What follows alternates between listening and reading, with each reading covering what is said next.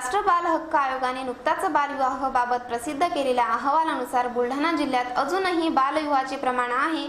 त्यामुळे जिल्ह्यातील कुठल्याही ग्रामपंचायत क्षेत्रात यापुढे बालविवाह झाल्याचे निदर्शनास आल्यास संबंधित ग्रामपंचायतीच्या सरपंचाचे पद रद्द करण्यात येईल.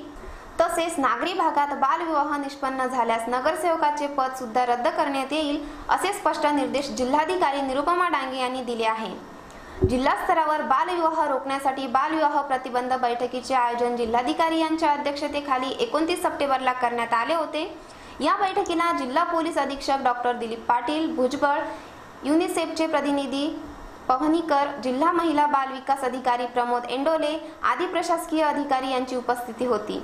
यावेळी जिल्हाधिकारी यांनी दोन ऑक्टोबरला होणाऱ्या ग्रामसभांमध्ये बालविवाहाबाबत जनजागृतीपर कार्यक्रम घेण्याच्या सूचना देखील केल्या.